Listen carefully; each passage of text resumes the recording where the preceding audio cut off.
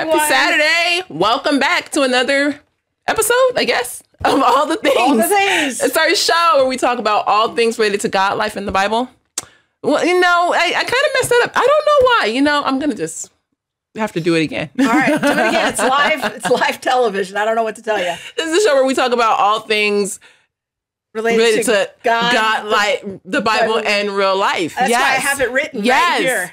You know, there, Right, we there it take is. a week we take a off week and- off, and I can't even. I just cannot even. I'm Krista Bontrager, also known as Theology Mom, And I'm Monique Duson, the world famous or you know, just me.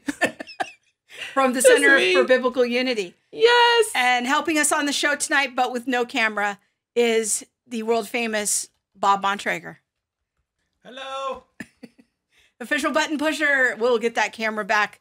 Uh, has anyone noticed like webcams are really hard to find right now? There's scarcity. Like you, it's why. it's it's everyone's zooming and you can't buy webcams. So uh, I accidentally uh, had to borrow his for work. So we want to en- encourage you to go share the show. Click on the share button because tonight's show is going to be amazing. Like, follow, share, comment, Mhm. all the things All the things. related to the show, and also join us on the live chat. Yes. Come now. I I am. I'm joining them on the live chat. Okay, But that's cool. what I'm doing. I'm trying to participate. See? Hi, Oh, wow. Allison. Justin and. Amy are here. Susanna's here. Annette, Kimba, Carmen. Hello, hello, hello. So join us on the live chat there on YouTube. Uh, we will try to fold you in if you are on Facebook. yes, we will get over to Facebook. It is a little more clunky over there. So if you really want to interact with us and interact with our guest tonight, go to the Theology Mom YouTube stream. And we got a new feature on the show. If you look at the screen, three, two, one. Whoa. Ooh, we got motion, There- guys. wow. We're, We're doing big things now. See? See? See? What ha- what can happen in a week? Bob's Yes. working on uh, getting some new things for the show. We're trying out a new mixer tonight. We're uh, trying to improve our audio always. So hopefully, give us some feedback about how we're sounding. So a lot of people here, um, Yes. excited to be here. Um, we're still in quarantine technically Yes. here in the People's Republic of California. Today, I accidentally went into a store without a mask. And I guess in our county, we are not technic. I mean, I guess it's like you It's do. optional. Do you boo? Recommended. Do you boo? That is the new law in our county, the do you boo law. And so I went up to the store and I completely felt like a rebel. I felt like people were watching me, but I needed cilantro and lime. Don't ask why. But I did. I needed cilantro and limes and I had to go in without a mask. And I felt good. Nobody called the police on you. No, That's good. it is. It is. Um, so Some we also had rebel. a little little picnic. Let's see if we got Picnic, yes. see if we got the picnic picture. Quarantine picnic. Us in and out. Me with my mouth full, just trying to get through the picture. Like, yeah, oh wow. That that that's a picture for you. Well, the thing That- is, is that they got all these. This is one of the drive-through in and outs, so you don't actually go inside. They're all drive through in and outs yeah, now. I know, but you, you you you don't actually go inside this one, even when it's open. Mhm. There's just an outdoor seating area, and they have all the tables with little signs on them that says like you can't sit here. So we all sat on the grass five feet away. and talked to strangers and became one. Yeah. Yes. So there was some other people there. They had lawn chairs. I said, "Now that's the way to go. We need to throw Yeah. some lawn chairs in our car, so Yeah. that because we I'm sick of eating in the car. Yeah. So it was really nice sitting outside. We were there in the sunshine. The wind was blowing. It was very pleasant. It was good. So we had a little in and out picnic there in the parking lot.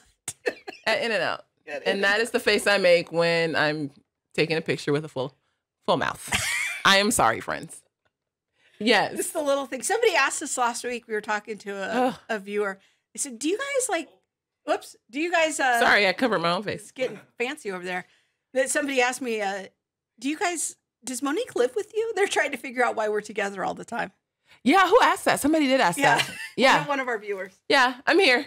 I'm here just every day. Yes, I'll be here all week, Her people. room's right up, I will be here right all week. there. Yes, In and Out has the best burgers. Yes, I do agree. Yeah. I wore my plague doctor mask to one. Oh, I, I should have sent that picture over to be seen on the show. Today we were in Walmart because that's where we go. And oh my gosh, these people had on like epic masks. Oh my It was like three in one. It had They look like they were in a science fiction movie. it was horrible. It- you know when you see something that kind of make your skin crawl? It was kind of like was kind of spooky. Mhm. They're spooky masks. yes. Uh, side question: Susanna wants to know how you became friends. Oh, Susanna. Yeah, Oh, that's a story. that is.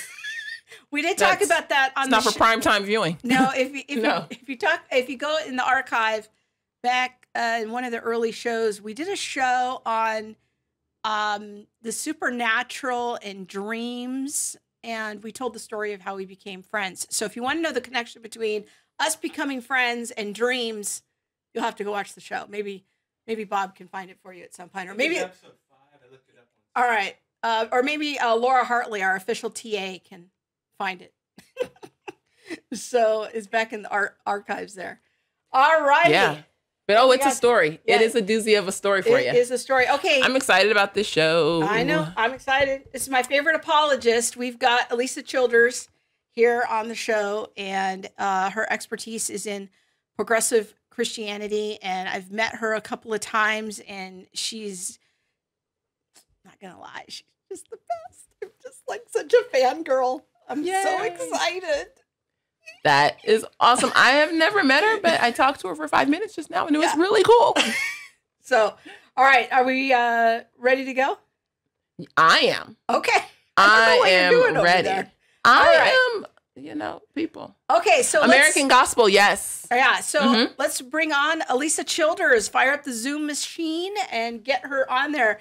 She's got a fancy new studio that her husband built her in quarantine. There she is. It looks so Hey, good. ladies. Thank you. Yeah. And Monique, Good. I just have to affirm you in your recognition of the importance of cilantro and lime Yes. because Yes. It, it it's important. it really it's- is. And I'm I, I, get you. Yes. Really get you. So much yes. I made shrimp tacos and it was so much yes. So, So much, much with the cilantro and lime. Ooh, and the butter, Yes. little garlic. Did you know that there are some people who taste cilantro and there's like a genetic thing where they actually taste soap? Have you heard of this? No. But I I, feel I- very sad for those people. I know. I'm so so so glad I'm not one of those people, but I actually know someone who, when they when they taste cilantro, it tastes like they're putting a bar of soap in their mouth. Ew. No. Oh, that's Yeah. horrible. Yeah. No. That is that's That's that's, really not nice. Mm-mm. I feel bad for their Taco Tuesdays. Yeah. Right. Yeah. So we are excited to have Alisa Childers here. Some of you may recognize her from the film American Gospel. Your yes. uh, story was featured prominently in part two of that film. It's called Christ Crucified. And um, I'm going to, you're playing me. I hear my voice over there. Okay. So Oopsies. it's such a professional thing. Um, so we are excited to have you here. Alisa, for those uh, two people in the world who don't know who you are, maybe you can tell us a little bit about your background and um, the topic that you're interested in studying, your area of expertise. Well, I am probably the least likely apologist you could think of because I I was in the artistic music world for most of my life. I was raised by a traveling musician and that's the the field I went into. So I was a part of the Christian pop group ZOEgirl for many years.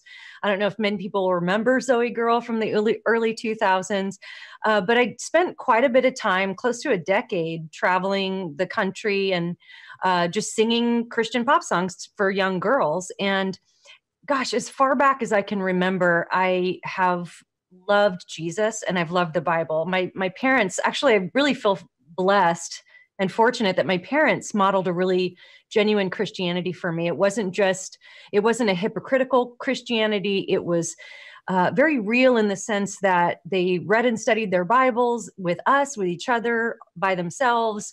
We prayed together as a family, but not just that, but there was an element that they uh, brought to it where I was exposed to a lot of poverty growing up, homelessness, and uh, we did uh, street ministry. Sometimes it was evangelism, sometimes it was working the soup lines at, at the Fred Jordan Mission on Skid Row in LA. I grew up in LA.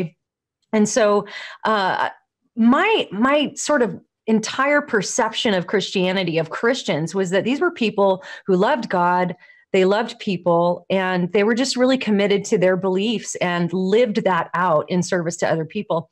And so, uh, you know, as we see all these deconstruction stories in our news feeds, um, I didn't have a reason to want to deconstruct. Everything about the gospel was beautiful to me.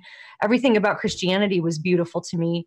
Uh, and that's not to, to say that it was a perfect situation. It certainly wasn't. But just that that modeling out of that life of love for the Lord, repentance, consistency in prayer and Bible study and, and service to others was was just beautiful to me. So it wasn't really until after I had left ZOEgirl and we had kind of uh, ended our run as a touring group and we'd all gotten married and we're starting to have kids and I was invited to uh, be a part of a study group at a local church where my husband and I were living in, in Tennessee. And so it was in the context of this class that I was in that my faith was really challenged. We often hear the story of a Christian kid going off to college and getting their faith challenged by an, an atheist philosophy professor or uh, some kind of evolutionary biology class, and then their faith kind of crumbles and falls apart. And I have a similar story, only my faith challenge, my dark night of the soul didn't happen within the context of a classroom, but it happened in the pews of a church. And so the the class was led by a pastor who identified himself as agnostic. And essentially he began to bring all these claims against everything I ever believed about God and Jesus and the Bible. And so while I was in the class with him I, I, would kind of try to fight with him. I would try to try to counter what he was saying but it wasn't until i left the class that i found myself kind of isolated and and the doubts that he had planted really took root. And so those doubts sort of grew and festered and eh, essentially god used apologetics to help rebuild my faith. I, I went through my own type of process of deconstruction and and then god helped me reconstruct through apologetics through you know studying sound theology that wasn't uh, i hadn't really studied systematic theology or anything like that in my life just read and read the bible. And so um, as i was rebuilding I noticed that several years later, this church that I was in went on to identify itself as a progressive Christian community. And then I began to see that term all over the place progressive Christianity, progressive Christianity. And then it dawned on me, oh, that's that's kind of what that was all about. It's sort of this type of deconstruction where you're you're deconstructing the Christian worldview, but still holding on to the title Christian, still wanting to associate with the Christian world and and use some of that same language, but essentially at its foundational level, it's a completely different belief system. So I've spent the last few years really studying the movement and trying to figure out what they believe, trying to look at the history of it and and try to figure out how to answer it biblically and how to untie some of the knots um, that I think are confusing some some Christians that are being brought about by this movement. Let me let me ask you some more about that because I'd love to um, help people understand, first of all, what some of the questions were that this pastor was covering in this class. Like, what were some of the key words or or key topics that he was bringing up um, that played into that? I want to paint that picture a little bit more for people. Yeah, thank you for asking that. That's a good question. So, in the beginning, essentially how the class worked is we would read through a book together over a week or two or three depending how on how long the book was and then we would come every week and discuss what we had read and so the first book that he had us read was a book by Brian McLaren called A Generous Orthodoxy. I had never heard of Brian McLaren. Uh, I never heard of this book, but I was really excited to read it because this was something that the pastor, pastor had described as, man, if I could write a book, this would be the book I would write. And so, you know, I had um, already come to trust and respect this pastor. So I was really excited to read this book but right off the bat i was i was really conflicted about what i was reading because there were themes that were very subtle. There was nothing uh, at least that i was able to discern at that point in my life that was really overtly anti-christian but there was just a lot of stuff making me uncomfortable. There was the way things were being worded. Um, I, th- I think i remember there was something in there where it talked about God being in Jesus.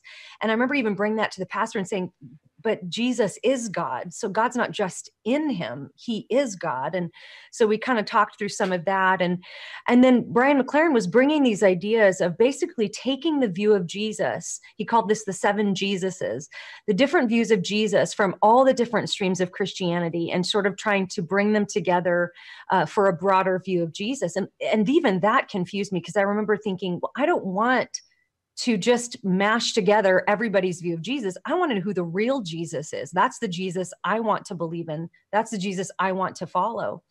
And so that was sort of a real subtle beginning. But then we began to read books that challenged the historicity of the Old Testament. So we had discussions about whether or not Abraham really existed or whether or not David really existed, uh, whether or not Jesus really existed. And there were conversations, um, a lot of conversations surrounded the Bible. So there was discussions of problematic authorship. But this wasn't the time. It, if I could say, it, I don't think it was a really a fair portrayal because it was really all from the skeptical side. So we weren't just having discussions about, well, here's one view of the authorship and here's another view of the authorship of Matthew, say, or another gospel. It was always the skeptical view that was presented, and that's the book we were reading. And, and so if you took a more historic view or traditional view or whatever you want to call it, you were definitely in the minority. So this was uh, very much a deconstruction of all of these types of things that we had believed in. We had discussions about the uh, the creeds that we would recite on Sunday. In fact, at this church at the time, they don't do this anymore, but at the time, we would recite the Nicene Creed and the Apostles' Creed. But in class, uh, we would go through the points of the creeds, and the pastor even one time went through and said, well, this one I actually believe in, and this one I don't, and this one I don't think matters. So there were discussions about the resurrection and the virgin birth and uh, just all the core tenets of Christianity.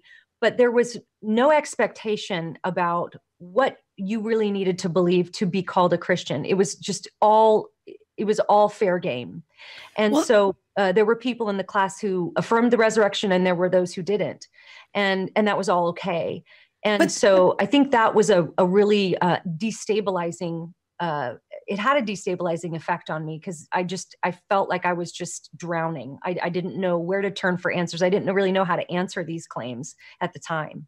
But that's kind of one of the features of progressive Christianity that I've run into is that it's almost um, it feels like nearly everything that you thought you believed is now being redefined or minimized or called unimportant or really subtle. So yeah. it's more like, well, we're not saying that this is completely false, but here's another way to look at it. Or have yeah. you considered this? And so I feel like it gives you that back door to any questions that you may have that really kind of just bring you all the way into another worldview. Hmm. Yeah, that's a good point. In fact, just a perfect sort of practical example of this is that several years after I left that church, the children's pastor from that church wrote a blog post that got kind of a bit of attention about how to talk to your kids about Easter. And in the blog post, she basically made the point that you know, we don't want to traumatize kids by telling them that Jesus died for their sins. We don't, you know, she she actually believed that would be psychologically damaging to tell kids that that message. And she she even said like we don't need to make them be thinking about somebody dying and coming back to life because we know people don't come back to life so we don't want to scare them. So maybe have discussions with your kids that maybe it doesn't matter if something really happened in history but what can we learn from the story?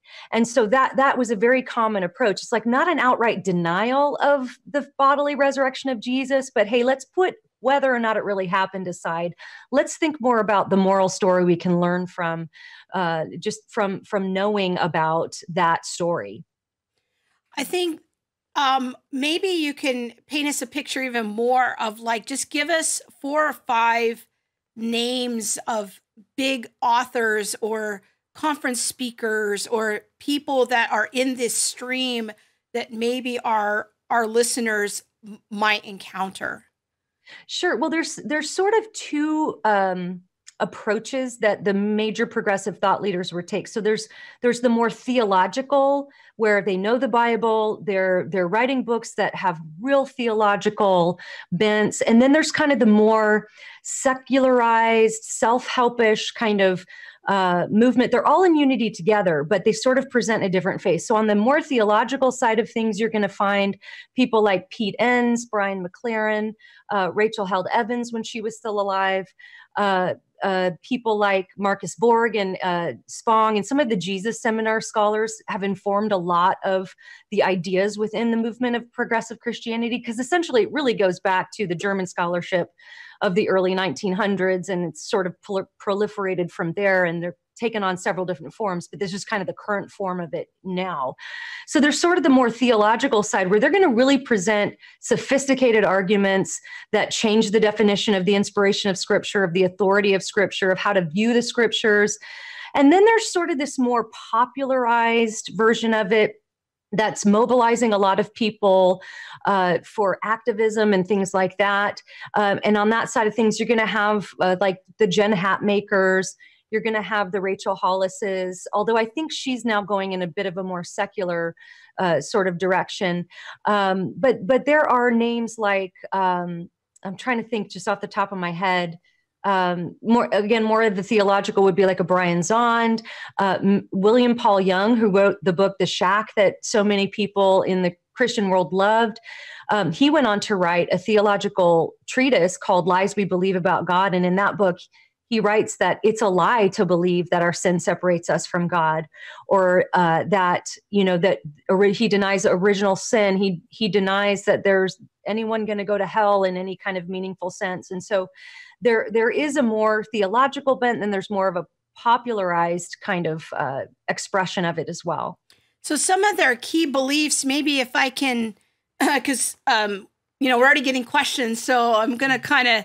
Uh, I want to kind of tell you my impression of, of some key beliefs of progressive Christianity, and and maybe you can give me uh, you know some feedback about that. Um, one of the things that I think I hear them say a lot is sort of redefining the doctrine of inerrancy. You know, that the Bible is not the error free word of God. They don't necessarily go along with the Chicago statement on right. inerrancy.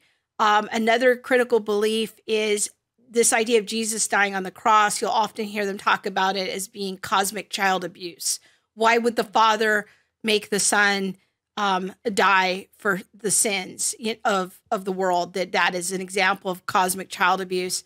Another thing that you often that I, I think I hear progressives say is um, they're very focused on loving people, which sounds really great and noble. They'll often say, well, Christianity is just about love God, love people, which technically I, I have some issues with that. Um, but it it sounds very pretty, um, but then when you get into the nuts and bolts of how that shows up, it, it can really start to redefine things. Yeah, because it looks like, oh, I can't call you out on your sin. And not to say that we just call people out, but we can't address things like sin or error or um, inerrancy in scripture or, you know, um, like heresy, I guess I would say, as um, more than inerrancy. But you know, we can't say, oh, you know, maybe you should rethink this. Maybe the way that you're considering this isn't um, actually scriptural. Scriptural. I also think that um, it comes along with the postmodern mindset, though, like my truth, and Absolutely. you know, who are you to call me out on something? Maybe we can get you to react to some of that, those Sorry, impressions. Is that kind of where, where where where you see some of this going? Yeah, no, you both you both characterized that perfectly. Uh, Krista, you're absolutely right. It's, I mean, the inerrancy of scripture is not even a conversation in the progressive uh, world anymore. Um, I don't know of one, other than Matthew Vines, who wrote the book um, uh, God and the Gay Christian, I think is what it's called. He says he affirms inspiration, uh, in, inerrancy in that book. And I think the reason he says that is because he's basically trying to make a biblical case for uh, same sex marriage and, and LGBT, what they call inclusion. Um, but among the major progressive thought leaders, and I've read their books, I listen to their podcasts and read their blogs, uh, it's not even a discussion uh, among most of them. I, and very few, I think, would even say, I believe the Bible is inerrant. Um, that's sort of a bygone conversation. Even by the time I was in my class at the Progressive Church, I remember the pastor even saying one time about inerrancy, like, even our high schoolers aren't buying that anymore. I mean, that's just like long gone. So what the discussion is more about is really like what does it mean when we say the Bible is inspired? And so often you'll hear progressives say, yeah, absolutely, the Bible is inspired by God, but they mean it on a different level. They mean it in a different way. So they might say, well, what we're doing right now, God's inspiring, right? We're, we're speaking about God. We're talking about God. We're inspired by God to say these things. And so they'll bring the Bible down to that type of level of inspiration. There, there are not a lot of progressive Christians who would say the Bible is the word of God. It might contain the word of God. Uh, here and there it might become the word of god to you if something makes sense to you. Um, but but even in rachel held evans book called inspired talking about the bible she even said it's really a sign of a mature spiritual person to be able to take the stories the bible tells and separate she says fact from fiction truth from untruth. She says god has given us a conscience a god-given conscience to be able to do that with scripture and if we don't do that then we're essentially just going to be swept up into cults and things like that. And and so there there's this sense that you know inerrancy no surely the bible according to the progressive view has a lot of contradictions and you got to decide which bits and pieces of it are telling the truth and which ones aren't. But again also like you mentioned krista the the atonement that's something that is largely seen as um, not just something that they would deny but something that they would see as morally repugnant. The idea that god as father would require the blood sacrifice of his only son uh, that to them that's michael gungor called that on twitter absolutely absolutely horrific. That's, he says that's not a beautiful story; it's a horrific story, and uh, that's that's just beneath, morally beneath who they believe God is, and uh, other other things. You know, of course, if you take the atonement away, that's going to affect your whole view of the gospel, right? Because, of course, Christians have historically seen the gospel being the proclamation of the good news, right? Well, what is the good news? A huge part of that is that Jesus died for my sins, that I was dead in my sins and I can be alive to Christ. There's also, um, you know, that that Jesus is the king of this kingdom that he's building and, and we submit to his lordship and his and his kingdom. And so a lot of times in the progressive view, they'll emphasize more that kingdom view. Uh, and now, I don't want to get this conflated with there's like this debate going on among evangelicals over what the emphasis should be kingdom or atonement. I'm kind of not talking about that so much because the progressive gospel of the kingdom is even a completely different gospel than what that debate is about. If anyone's aware of that debate, I just didn't want you to think that's what I was talking about. But the progressive view of the gospel of the kingdom really has more to do with political activism. It has to do with bringing heaven to earth here in the here and the now. In fact, Brian McLaren says this is uh, we're going to do like green energy reform socioeconomic reform this has to do with environmentalism and and uh, speaking you know truth to the systems of oppression that are are oppressing people and then, of course, as Christians, the book of James talks about faith without works is dead. So, of course, we want to do good things in the world. We want to stand up for the oppressed. We want to do all of those things. But historically christians have viewed the gospel the good news to be salvation from our sin the redemption of the world from the powers of sin and death. And so um, there's this sort of mix uh, in the progressive world that it's really more about political activism because it's not about the next life. It's really not about heaven and hell. It's about the here and now. And so there's going to be a lot of a, a real um, sort of push and a real pressure to do a lot of activism because essentially that's their gospel and and, it, and and as i see it that's that's a works-based gospel that's earning and that's striving and if you don't you know if you don't submit to the right causes then you're not doing it right and there's just this all this striving this works-based gospel that i think um, is is what the Bible talks about. That's not grace. Grace is I deserve sin and death, but Jesus gives me life and healing and hope and adopts me and redeems me, and um, which to those of us who know that we're sinners is a really beautiful story. Woo, girl, you preaching now. If we was in okay. black church, I'd have to fan you. Yes, I would. I would fan you. I'll take it. yes. We talk a lot on our show about critical theory and critical race theory. And even though I wanted to ask this question much more down the road, but you hit on it so much now, it's just like busting in my gut. I see so many people who are in the social justice movement, who are social justice warriors, completely enmeshed in this progressive theology. Yeah. They're almost like sister movements. Yeah. Well, I don't even know if they're sister movements. I wonder if it's the same, one in the same. And Kimba asked a good question on the the YouTube stream. She says, um, wait, that's Keisha. Sorry, no. Kimba said, anyone know if this was a precursor to communism in the past? And I'm like, mm, it, it all kind of these social movements and progressive theology i wonder like how they're all enmeshed and intertwined even spiritually but yeah. yes with the whole critical theory the works we call it um jesus plus yeah. because that's what this progressive mentality includes and this this progressive doctrine especially when you enter into the social justice world it becomes yeah Jesus plus all the work that I have to do in order for all me to activism be yeah, in order yeah. for me to really be saved, in order for me to really know that I'm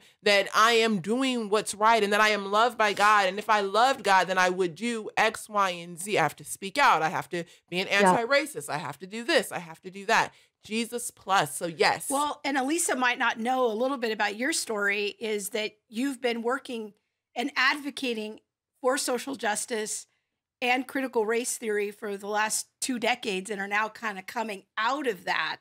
So two decades sounds like a long time. But it wow, no, I didn't know that. But similar yeah. to Alisa's story of sort of coming out of progressive Christianity, you're coming out of critical theory and critical yeah, race theory and that and whole deconstruction of you've know your, your, paradigm shifts and all of that. Some deconstruction yeah. of your own in that. So. Yeah, but no, I just I agree and it it so resonates when you say that you know progressivism is this other gospel that includes all of these other things that social justice mentality that works mentality. It really is a theology of work. It's not a theology of grace because you really are um inundated with the things that you have to do in in the the process of advocating for someone else in the process of helping the poor. And that doesn't mean that we shouldn't help the poor. That doesn't mean that the, the scriptures don't talk about helping the poor but it's not the foundation of our salvation. Yeah. Well, and that's, I'm so intrigued that you brought that up because I just wrote a book on progressive Christianity, which is coming out in the fall. And I had written. Yeah, we have that whole... graphic. So I'll have Bob put oh, it good. up for you while you're talking. I want to encourage okay. everyone to go pre-order Alisa's book right now on on Amazon, um, Another Gospel. So it's already there and, and available for pre-order. So yeah, yeah tell us there about it is. That. Yeah, you can pre-order it now. That'd be great. But I had I had written the book, completely written it. And over the year that I wrote it, I started to see, well, as I became more educated on what uh, critical theory and critical race theory, intersectionality, and all that stuff was, I began to see it grow in the progressive movement like I mean, like l- lightning fast. Like it just like caught fire to where people who were maybe just starting to say, maybe I affirm same sex marriage, then all of a sudden it's like full on critical race theory is all you hear from their platforms now.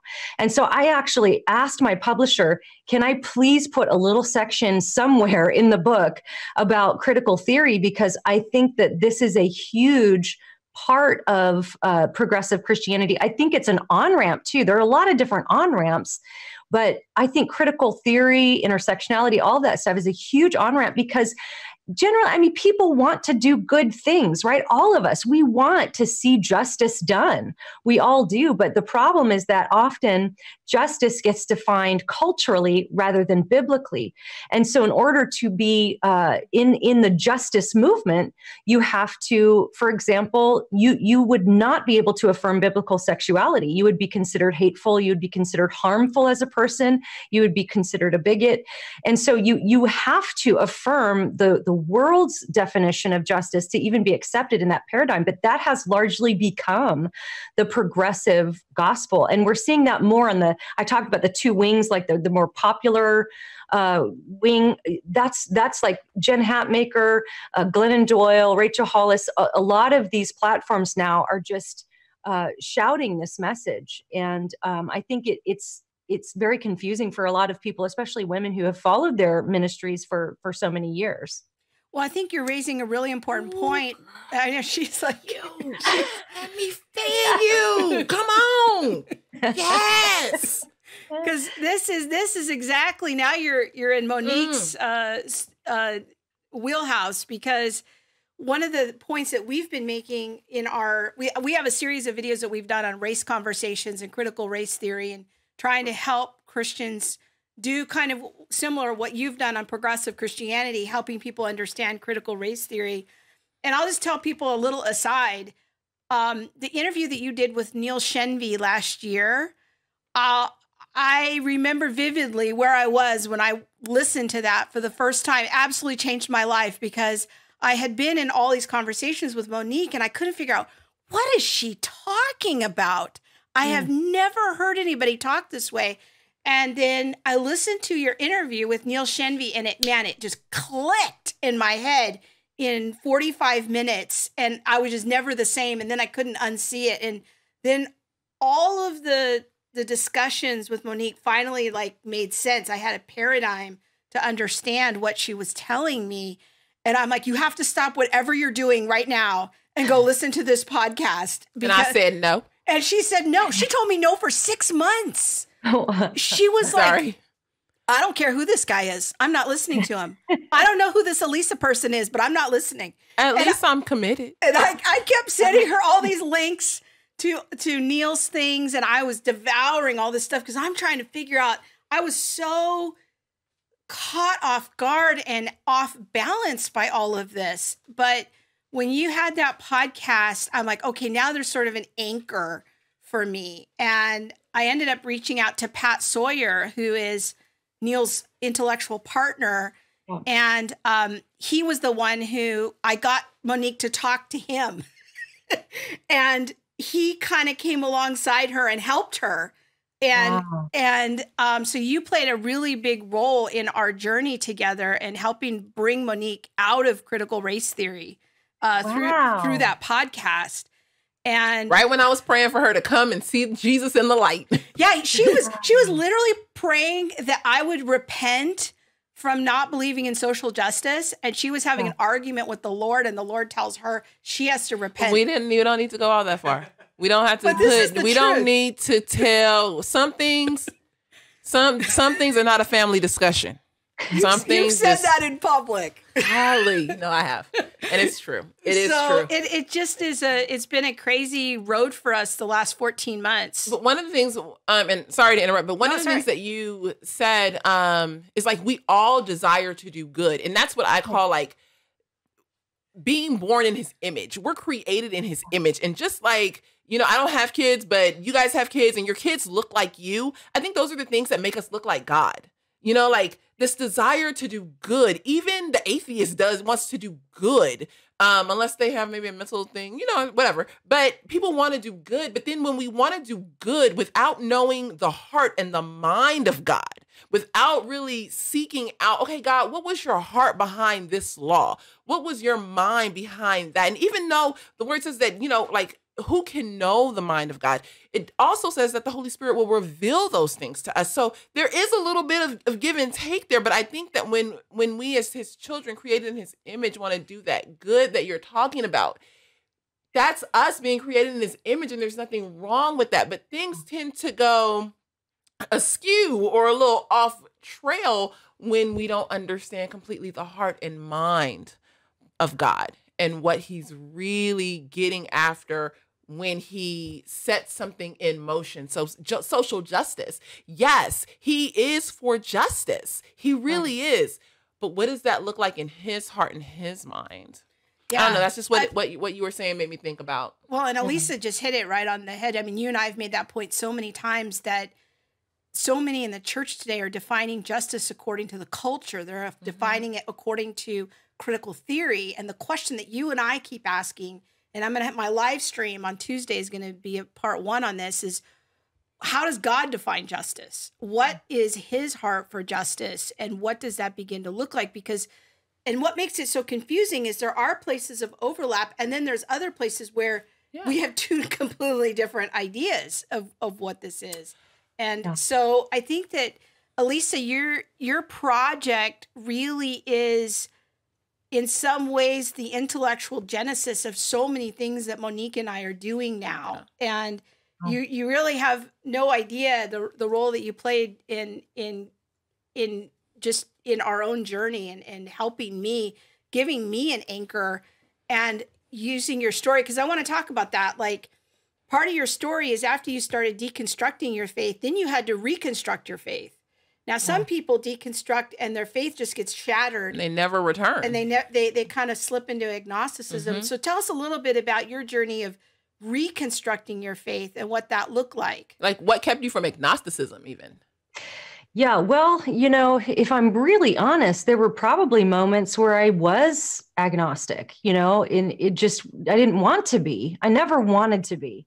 So there were moments of almost like what you've heard the term cognitive dissonance, where I believe it's, it's like that scene. I, I related so deeply with the scene in the Gospels where the father comes to Jesus and his son is uh, being just horrendously abused by this demonic possession this demon that throws him into the fire and into the water tries to kill him and this father's absolutely desperate and he asks jesus to heal his son and and jesus says something to him along the lines of you know it, if you know if i if i can or if i will you know do I, I forget the wording exactly i don't have it right in front of me but he asks him if he believes and the father says i believe. Help my unbelief. And I felt like that was the best description of where I was at in my darkest moments. I believe, help my unbelief. I mean, I have unbelief and I believe at the same time. And so as as my faith deconstructed, I, I think the darkest moments were there was this physical darkness too. I was I would be rocking my daughter to sleep at night in the rocking chair.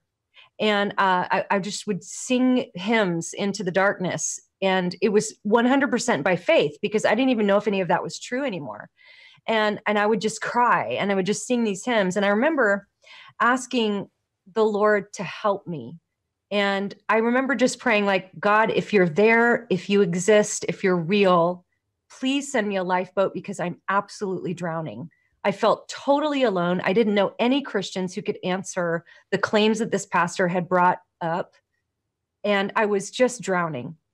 And so I was I was like, God, please send me somebody I can talk to, please.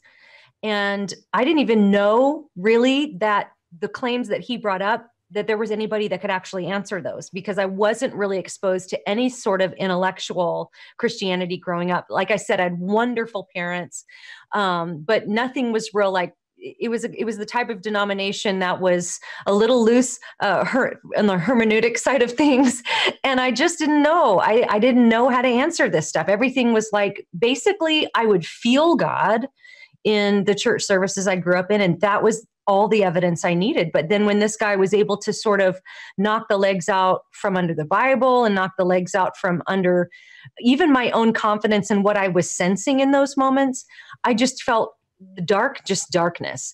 And so I was driving in my car one day and I was fiddling with the radio and I heard this voice. And he, it was this man that was at a college campus and he was answering questions from I mean, some of them were kind of friendly questions, but most of them were from agnostics and they were from atheists. And they were, and I was just like so tense. I heard these questions. I was like, oh my gosh, how is he going to answer these questions?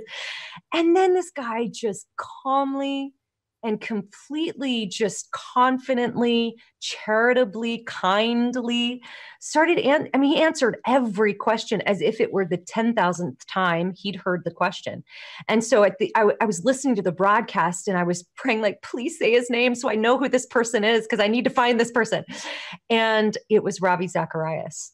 And so as I, I, I went home, I Googled Ravi Zacharias and I found out he had an app. I started listening, I listened to Ravi every day for a year.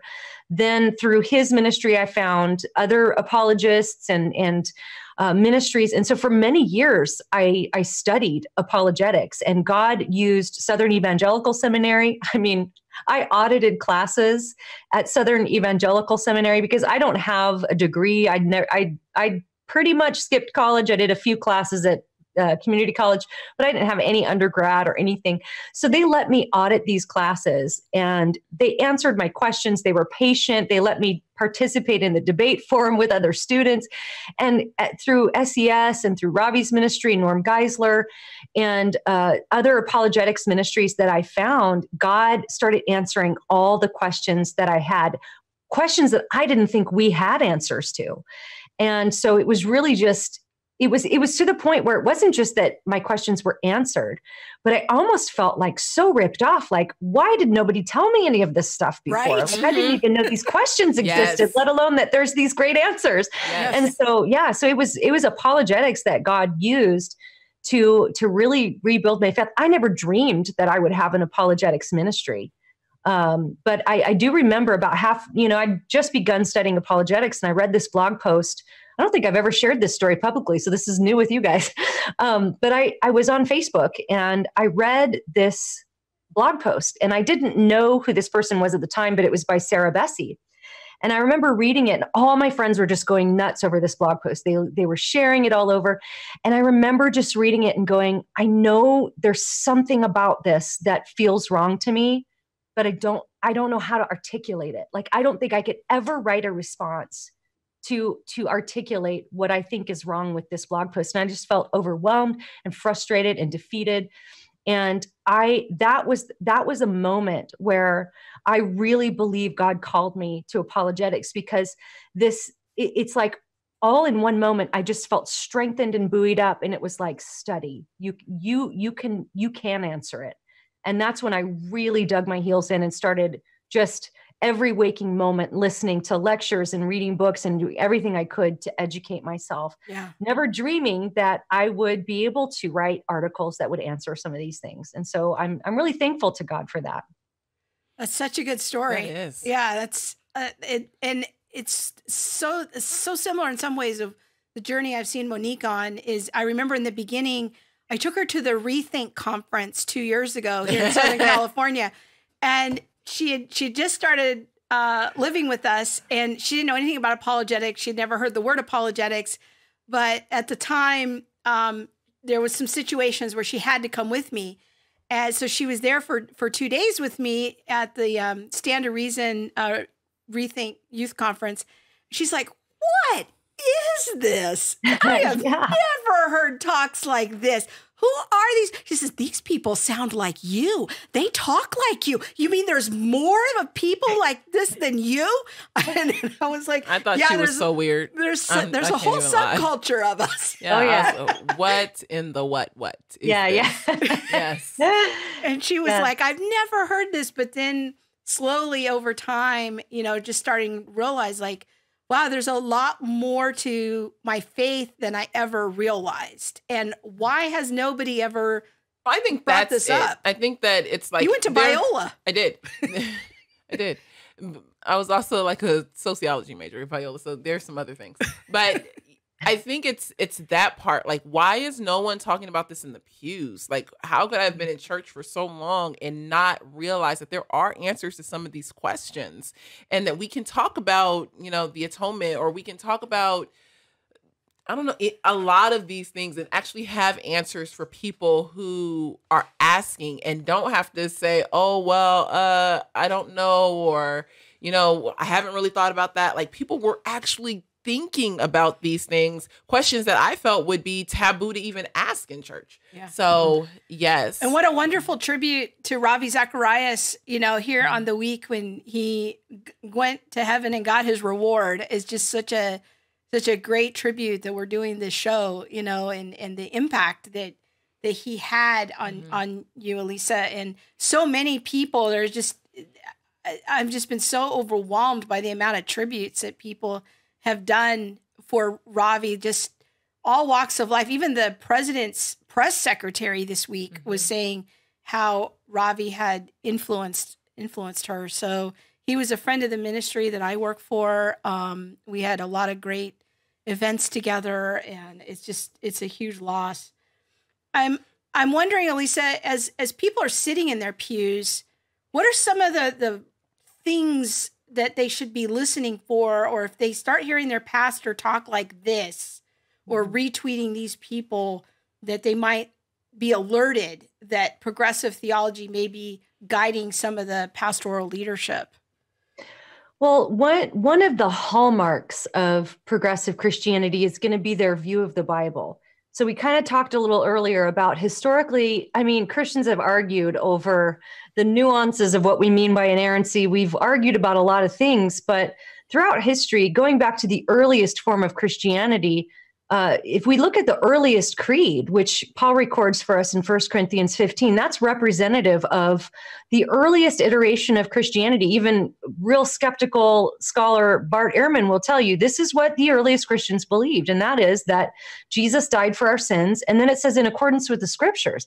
Now, that's a big statement when you think about the fact that the Old Testament scriptures prophesied the Messiah that would die for our sins. That if you read Isaiah 53, that the sins of the world would be laid upon him. This is like Christianity 101 in its earliest form.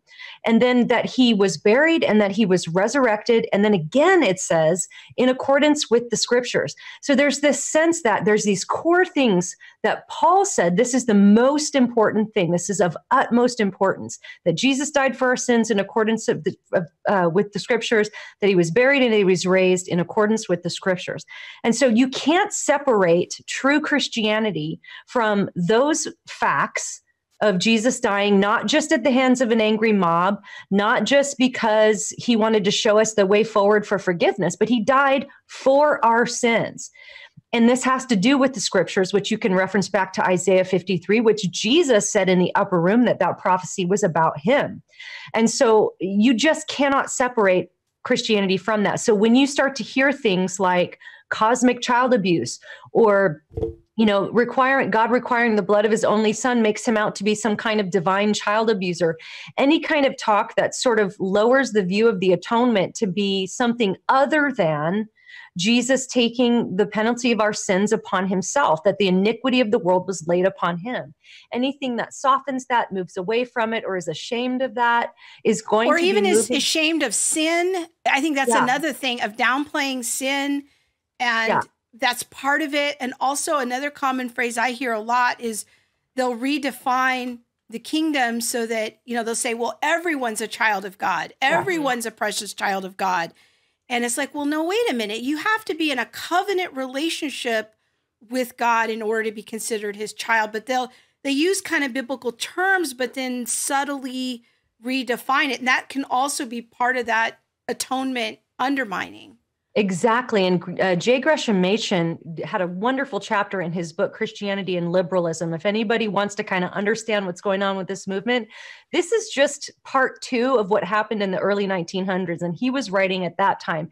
And it, it, back then, I think they called it the brotherhood of all mankind. And it's this idea that everyone's a child of God, everyone has a seat at the table. So progressive Christianity is going to be very pluralistic in that they're not going to want to tell someone of another faith that they've got it wrong. So progressive Christian is going to accept a Buddhist, a Muslim, uh, in the sense that not just accepting them as a person, but they're not going to tell them they're wrong. They're, there's going to be this sense in which everybody's got kind of their own path to God, but it's all going to the same place. But all of this, all of the, the ideas that you're going to see come up in your progressive church are going to be based on how they're looking at the Bible.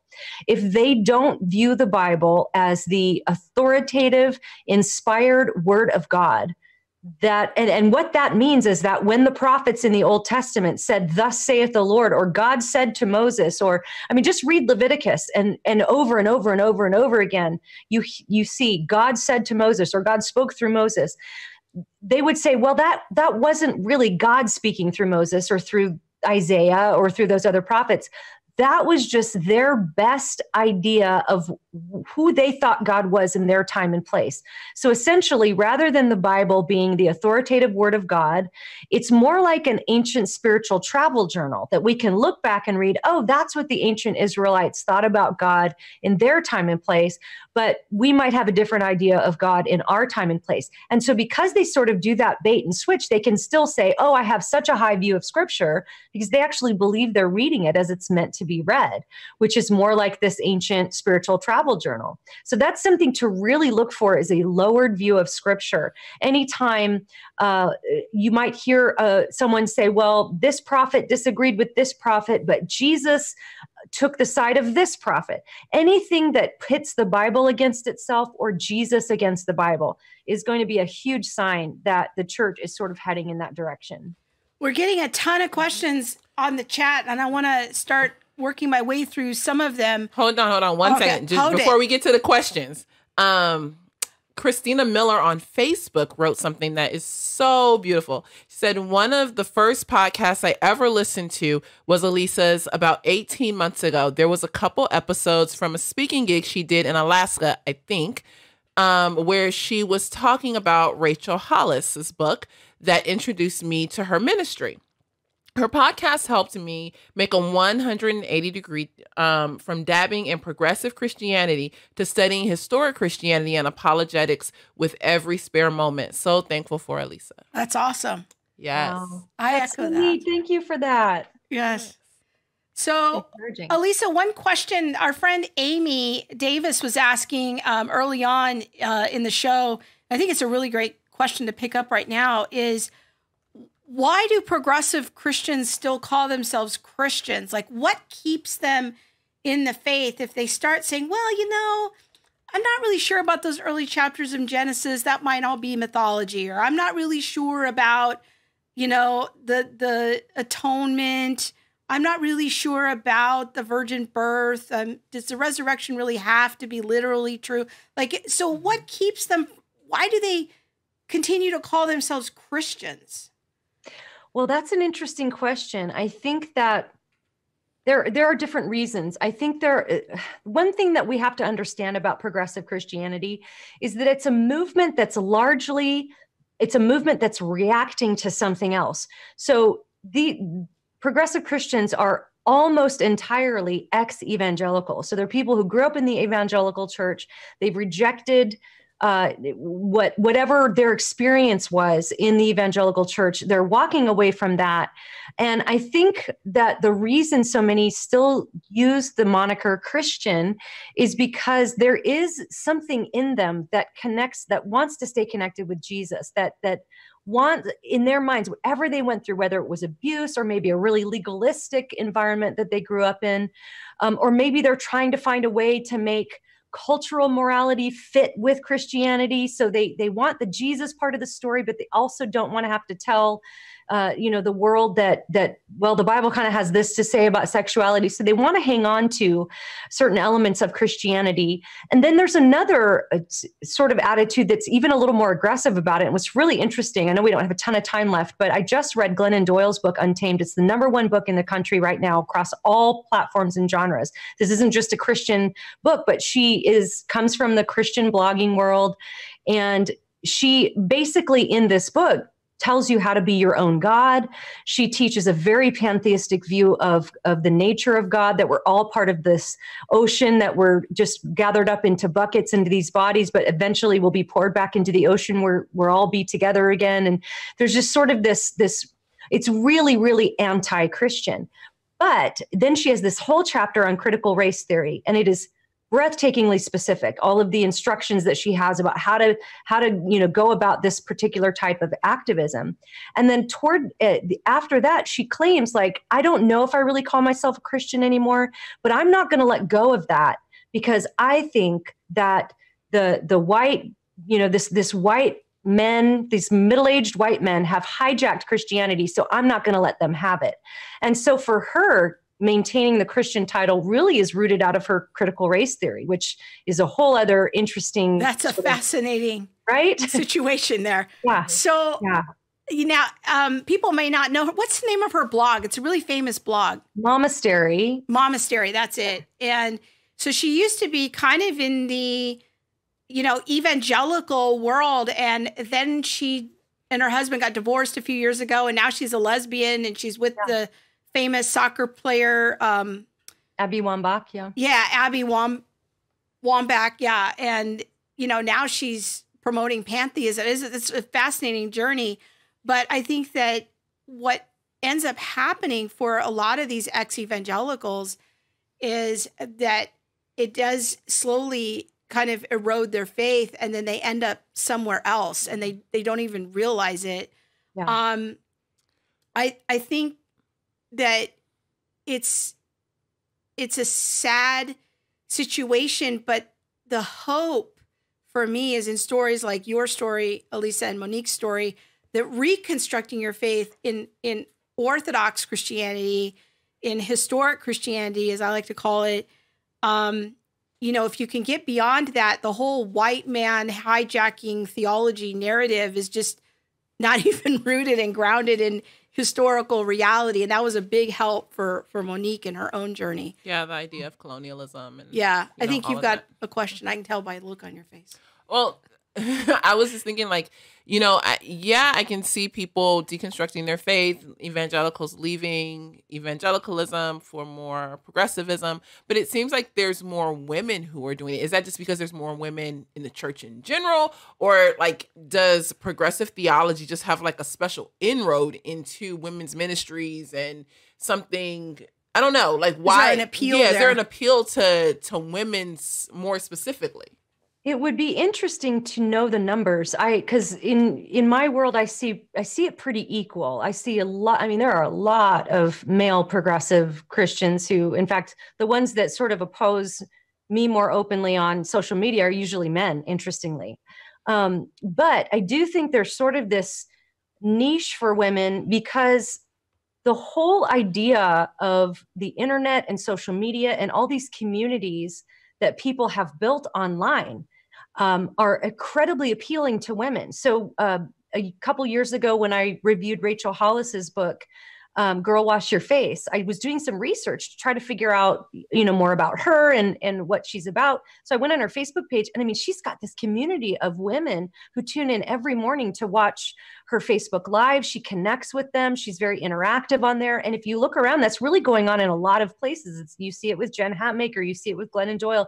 So, so they built these communities online where women you know let's face it as women when we have young babies it's an isolating time of life. Yeah. And you're not a you know you, you're you're home with this kid a lot and you're craving adult uh, interaction and especially interaction with other women who might understand what you're going through. And uh, especially when somebody's funny and they can crack a joke that just hits right at the heart of what you're going through as a mom, which, you know, of course, Jen Hatmaker's brilliant at that. So they built these communities. And then as they've drifted into progressive Christianity, they've taken a lot of people, a lot of women with them, I think, because, and, the, and this is like, I hear this all the time, especially people continue to follow Jen Hatmaker and people like hers, but she's so funny and it's because they relate with the humor and it's because they they get a little comic relief from her that they continue to follow her. But as she's gone down a deeper path of uh, critical theory critical race theory uh, promoting richard rohr and some of his you know really heretical ideas about theology these women are getting swept up i think in in that. And it's all because of this phenomenon of the social media platform. That's a really good mm. point because I think that and, and I'm glad you're continuing to bring more names in it because people yeah. might might have heard of Richard Rohr. They they might um, maybe Rob Bell is another person that's oh, in yeah. the the progressive stream. Um, and so just to to get these names, Rachel Hollis, Jen Hatmaker. Now Jen Hatmaker had the situation a few years ago, and I think this is important to bring up.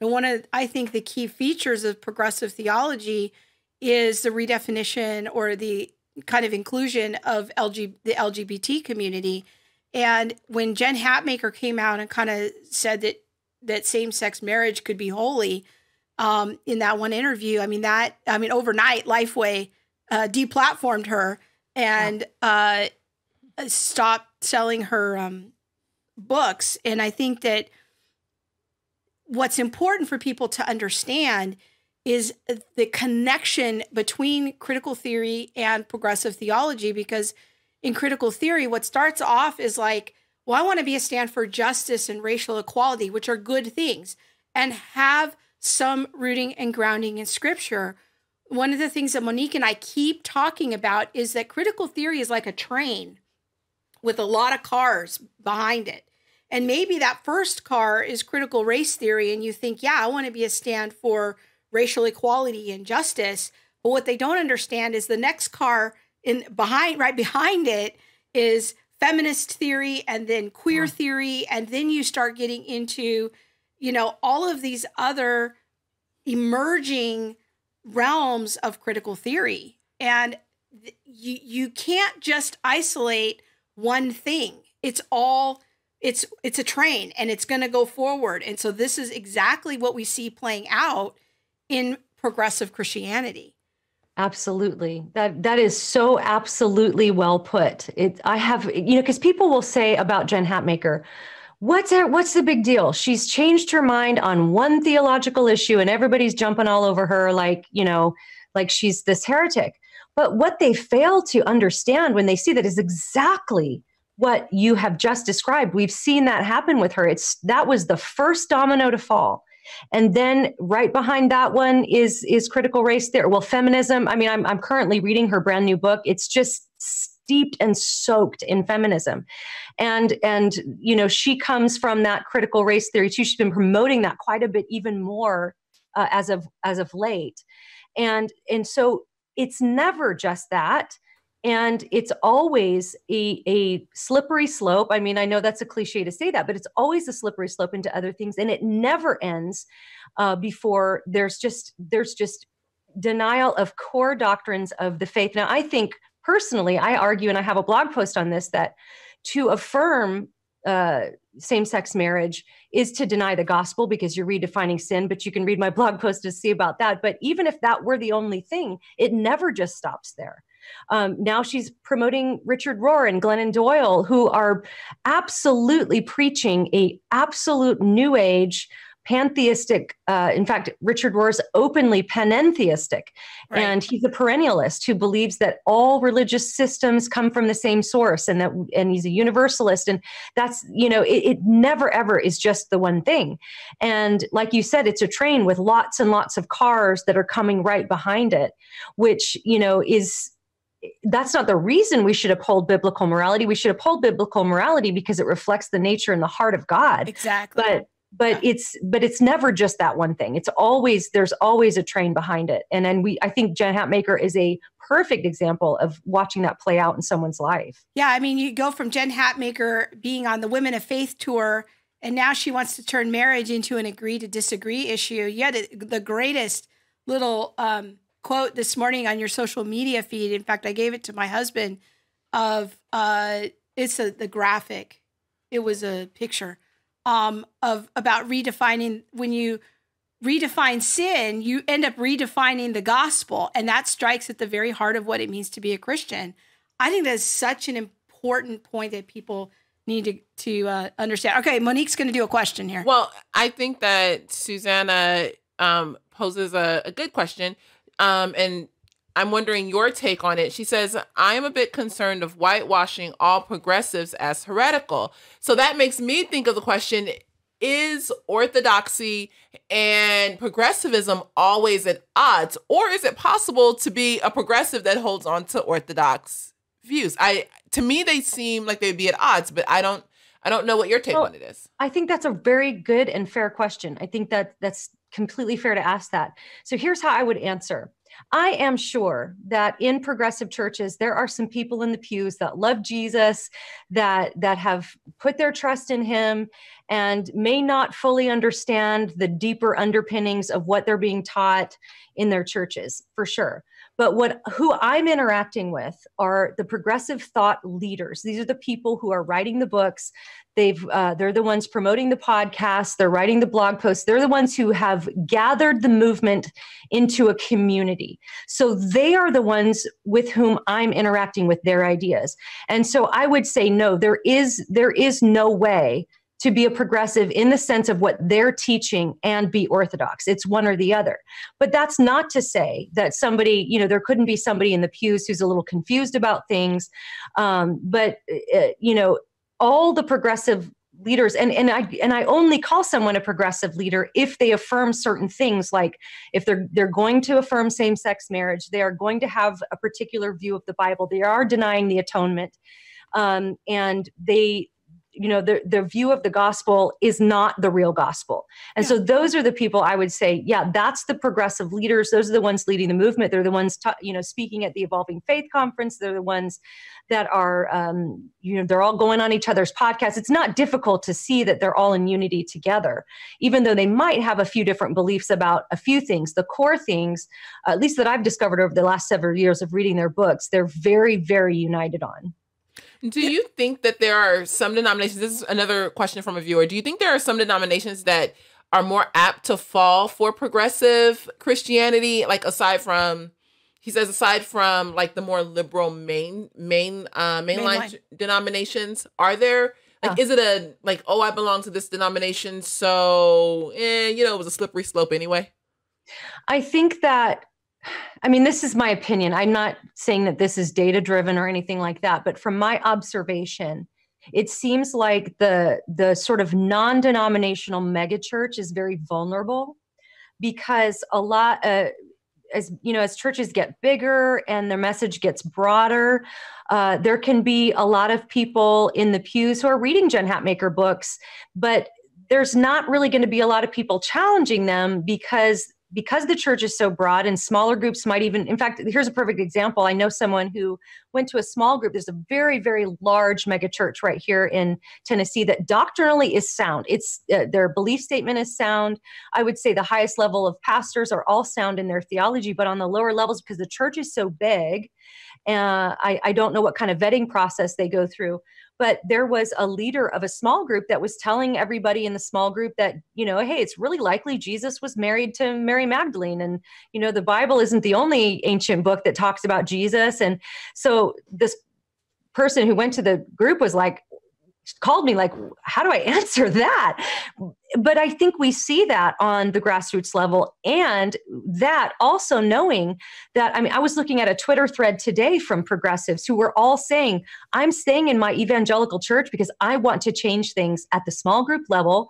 I am going to stay. I'm not going to leave. I'm going to try to change the minds of all the people in my small group and start there. So whereas evangelicals are sort of top down in that the pastors are probably fine, the belief statement's fine, but as you trickle down, you have progressives infiltrating on the bottom levels. And the bigger a church is, the wider it is belief wise, as far as being non denominational, not really constrained by the particular belief statements of a particular denomination um, I think that there's a lot of vulnerability there. That's not to say that the denominations aren't vulnerable as well. We're seeing, of course, a huge battle go on in the United Methodist denomination that we've also seen happen in the Presbyterian denomination and Anglican, where they'll, you know, they've ended up having to split off. Right. And and so nobody's, you know, free from from the influence but um, but I, I do think there's a vulnerability in that sort of large non-denominational megachurch um, that just doesn't have a lot of um, troops on the ground. I guess I could, you might say. I know we're way over time, Alisa. You're being so generous. Do you have time for one more question? Absolutely. Yeah. Okay. Um, I we've gotten a few variations of this question in the in the chat, and I I want to um, bring this up. Let's say I find myself having coffee with my friend, and all of a sudden I realize my friend is drifting into progressive theology. Mm-hmm. She's reading Jen Hatmaker books, or she's listening to Peter Enns's podcast or something, or she's really getting a Richard Rohr. Um, what do I do? Like, yeah. uh, do you have you found any strategies for critical questions to ask that person, or you know how to help give that person another way of deconstructing their faith. Because maybe you know sometimes deconstructing our faith from evangelical american evangelicalism is not a bad project but we want to reconstruct it into historic christianity. But do you have any thoughts about if I find myself across from coffee with somebody, like how to help them connect those dots a little bit? Yeah, that's a great question, and I think you you you brought in your question. You said, "What questions should I ask?" And I think that's key because what we have to understand is that there's a whole lot of philosophical underpinnings to the impetus that's going to drive somebody into this movement there's almost almost always it's a reaction to whatever type of evangelicalism they've they've been exposed to and so i think that asking questions is the best way to go. Because if we start making dogmatic statements that's probably what they're what they're wanting to get a break from is just being told you can't ask questions. You can't do this. You must do this. You must believe this. And so they're sort of like you know if they're if they're getting into someone like richard rohr chances are there there are some wounds there because he's very congenial. He's very grandfatherly. People feel very safe with him. I've i've had several people email me um, really upset that i criticized him because they came out of a background of abuse and he was you know his writings and everything um, has has brought them some comfort. And so so there's there's an element of just being aware that there's something they're walking away from. There's something about the gospel that's not beautiful to them. There's something about the church about Christianity, about God, about the Bible that has ceased to be beautiful to them, which is why they would even consider these other ideas in the first place. So, asking questions is a really good starting place. Like maybe try to get to the bottom of what they're walking away from. It, you know, if if somebody were to tell me, I mean, I guess just the way I would do it is if they say, "Hey, I've read this Richard Rohr book and it's just blowing my mind," I might just say, "Well, what do you what do you love about it?" What's what's the idea that's really got you hooked in and and just you know kind of feel it out from there and maybe if they're willing to have a discussion based on the scripture but see that's the thing is in progressive paradigm, often the, the conversation isn't in the realm of what does the Bible say about this anymore. It's, you know, what does my personal conscience lead me to believe? Even about the Bible. And so it, it can be sort of a, a, difficult conversation to maneuver. But I think just asking a lot of questions, getting Greg Koukl's book, Tactics, is a great resource. I, I think that that book is more written on just how to have conversations with anyone who's kind of skeptical about Christian beliefs. But I mean, you could slap the title Tactics for Progressive Christians right on the top of his book because all of those tactics are going to help you have a more fruitful conversation with your friends when they're kind of being tempted by these ideas. And um, as as Greg Koukl says in the book, you know, you just want to put a little pebble in their shoe. You you don't have to convert them all the way back over to your side in 30 minutes. But if you can just ask a few questions that irritate a little bit. I mean, I've had that happen to me where somebody would ask a question, it bugs me for like a week, and then I end up really investigating something that maybe I was wrong about and so um, and so i think that that's a really you know it's a great practical resource to get that book tactics by greg koukl to help with really with any conversation but especially effective with people who have more of a postmodern relativistic mindset that that book is really helpful. That's really good advice. Uh, our friend susanna is asking the question questions said questions aren't always allowed to be asked in certain evangelical circles and I would say, Suzanne, I think that's changing. I know that you left an evangelical church, you know, a long time ago, but that's changing. And I think that, you know, questions are much more open and accepted and allowed now. And apologetics has really grown in the last 20 years. So I'm going to push back a little bit on that with you. But um, uh, to disagree with one another over non essentials, I, I don't know what you think about this, Alisa, but one of the things that I've really run into is I think that people um, often take it for granted what that they know the difference between essentials and non-essentials of the faith. Yeah. And you know that you'll hear this saying of like, well, it's not a salvation issue, so it's okay. We can just agree to disagree. That's not enough of a criteria to determine what is essential and what's not essential you know like the issue of gay marriage i would say is an issue uh, uh, defining marriage is an is part of the christian worldview. Christian the christian worldview is not just merely our salvation. It includes that but it's not merely that. And i think that this question of how do we even identify the non-essentials is a big question when you're talking to a progressive. One of the big questions you have to chase after with them is by what standard? How do you know what, how are you defining what the essentials of the faith are? I'm just wondering what your thoughts are about that.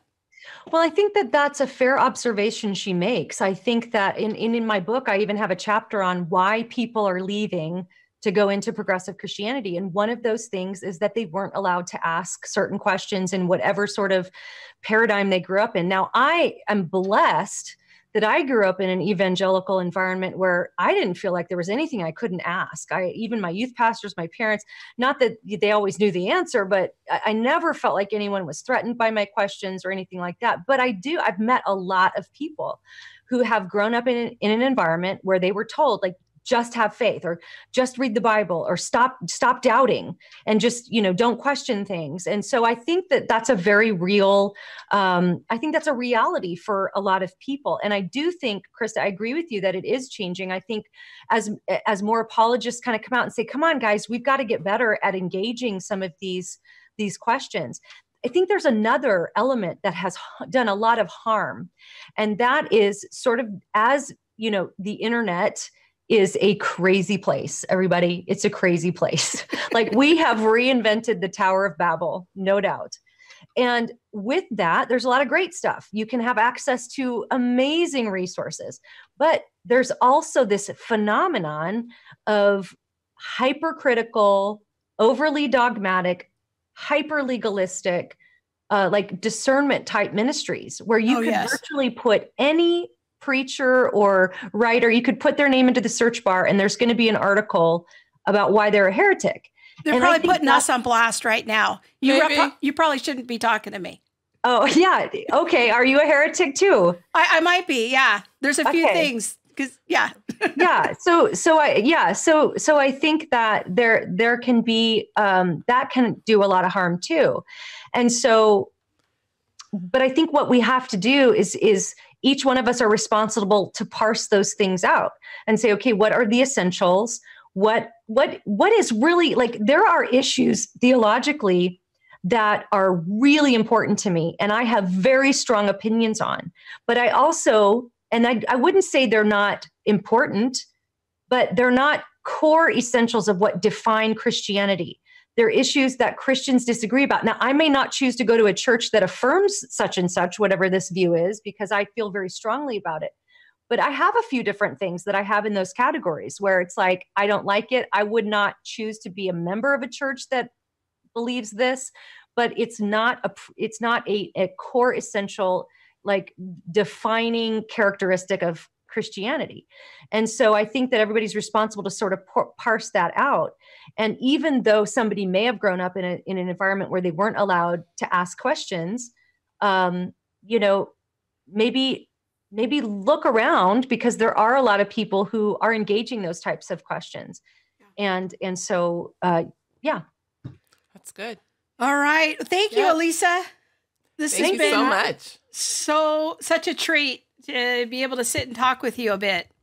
Well, same here. I love you guys. This was fun. And uh, yes. uh yeah. I hope we get it. I hope we get to all do a conference together someday. We can talk about progressive Christianity and critical theory, critical race theory. How they're all tied together. How they're all bit. tied together. That would be fun. Yeah, yeah for sure.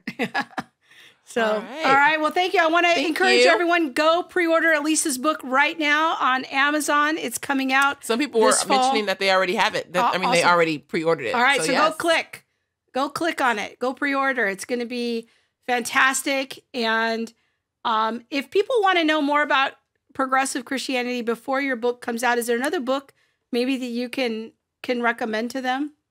Yeah, there's not a ton out there. There is Michael Kruger wrote a little kind of booklet called The Ten Commandments of Progressive Christianity, and he's interacting with more of the uh, uh, the scholarship that goes back a little bit, but it's still very relevant. Uh, so that's a book they can get. There's a book by uh, Biola professor um, R. Scott Smith called Authentically Emergent. Now he goes really deep philosophically I love Dr. Smith. Monique calls him Uncle he, Uncle Dr. Smith. Uncle Dr. Smith, yes. So he he actually not only analyzed the theology of the founders of the movement, like Brian McLaren, Tony Jones, and uh, uh, Doug Pagitt, but he also goes really deep philosophically on what's what's informing their theology. So it's a bit, it's a little dense. You know, you have to really like like that stuff, um, but it's very good. And uh, and so then if people yeah, want so more of like the intellectual underpinnings, Yeah. that would be a good one. that's a good one. It's yeah, it, it's really philosophical. Yeah. Like it's it's he really goes good. deep into the into the like if people really want like the intellectual Yeah, like their for view all of this the soul, what kind of a being we are. yeah. All like he goes deep into Okay. that. Yeah. All right, very good. Well, thank you so much, Alisa. We really appreciate your time and hanging out with us tonight. Thanks, you guys. All right, Thanks take so care. much. Bye. bye bye. Wow, that was that was fantastic. That was good. It's not every day you get to talk to somebody who's one of your heroes. That's fantastic. Um, okay, so one final thing is the tweet The tweet of the week. of the week. The tweet of the week. well, It's very extra. So the tweet of the week is brought to you by the Center for Biblical Unity and the world famous tweeter, the real Monique D. oh. well, there's that. If you believe your accusations of racism should be believed simply because you're a minority, check your privilege. That is what I said. So tell us a little bit about what went into that tweet. Um, I just think that at times, and it was it was specifically surrounding the Ahmaud situation, but that there can be um like cries for racial justice, which I think should always happen. Like if some if there's something that is unjust, I think justice should should be played out. But I also think that we can, and when I say we, I feel like blacks, minorities, whatever, can say that well this is racist. We can um ascribe a motive to someone's heart without knowing really what's fully happening and we ex- we can expect to be believed. And i think that's a privilege. Like we talk a lot about white privilege and so if we're talking about white privilege every um every group has some form of privilege. It's not just white people who experience privilege. As children of god we experience privilege. So what is it within my own group that that can be exercised as a privilege. And i think at times when we just say well this is racist and don't question me because i know racism because we have a 150 years of a racist past you know you should believe me. I think that's a privilege that that we hold and we don't always identify it as a privilege. Usually we are believed. And that doesn't mean that when people when we are believed that it's not a racist act. I just think that we need to really investigate what what privileges we do hold and not just put the the idea of privilege onto white people and say well only whites have privilege. I think that there are privileges within every every ethnic group. There it is, Monique challenging the system. yes i am trying to every once in a while Well, it's been a good show. I'm excited that Alisa came on. I want to encourage everyone to go uh, subscribe to the show notes for the show, where we will put links and extra resources in, in there for everyone. And be sure to follow us on social media, follow our um, YouTube channel, All the Things Show. Uh, we're across all of the podcast platforms. Hit that subscribe button if you're on YouTube. Be sure to hit the notifications bell so you'll get alerts. Like, follow, share. That is the biggest thing we really need from you guys. If you love the show, support the show with shares. I want to say a shout out. Thank you, Keisha, for sharing the show. I think Christina Miller shared the show Yeah, tonight. we have a ton of shares tonight Thank especially you on facebook it's awesome Thank you so much for sharing the show. Carmen just asked me, Yeah. um, do you know the Addisons from airing the Addisons? They discussed this in depth. I am not familiar, but I'll check it out. I don't know that. Jeremy says outstanding show tonight. Thanks, Oh, Jeremy. good. Thanks, Jeremy. Thanks for tuning in. I know that uh, Davis has said they ordered Alisa's book. Mhm. So that's a great thing. Um, be sure to check out more about Alisa Childers in the American Gospel Christ Crucified. Yeah. It is available, I think it's like a $4 rent or something. Yeah. Uh, it's really well worth it. Go watch it together as a family, even if you got to spread it out over a couple nights. What's interesting about the documentary is they juxtapose Alisa's story with Bart Campolo. If you've ever heard of Tony Campolo, Bart Campolo Campolo is his son, and you he- see side by side both of them going through their deconstructing process. Elisa eventually reconstructs her faith into historic Christianity. Bart Campolo deconstructs his faith to the place where he's an agnostic now. And so it's really their journeys are sort of put in parallel as the documentary unfolds. So yeah, definitely go check out American Gospel Christ Crucified. It's a great follow up to this episode. At least I'm just gonna say she's in the chat box. Hey now. yes. Oh, American Gospel is on Netflix now. Oh, very cool. And Carmen, I don't know what AFR is. American Family Radio. It's right Oh. underneath there. Where? Under your text, it says, What is it? Oh, America. There, there we go. Thanks. Thanks. They are on Facebook. Awesome. I'll check them out. Yes. Um, very good. I High five. Yes. Girl. Hashtag fan. Yes. we need that fan. We need that all we've decided we're gonna have a prop. It's gonna be the all the things fan. So we could just fan the the guests when they just make points that we love. Sometimes you got a fan. A little Yes. black church. We also need a sound effect. I keep meaning to mention, Bob, we need a sound effect of a Hammond organ so we can have a little No, not just the organ. We really need the drums so And that when the they get the shouting music, like, hey, dun, Double popping. ah. Yeah. Yeah. See, now if you know, you know. But if you don't know, you might not know. Keisha knows. But yes, everybody, you know, some people might know. She might not know, you know. No, she said hashtag fan. She I Yes. think I think she might know. she might know. All right, it's time for us to go. I need some shrimp tacos in my life. All right, people. Bye, you guys. We'll see you next week. Be sure to tune in to my live stream on Tuesday night. We're talking about how to answer God's call to justice, and it's going to be part one of a conversation about justice. So, Yes, we are leaving now. Bye. Shrimp tacos, people. Priorities. There's nothing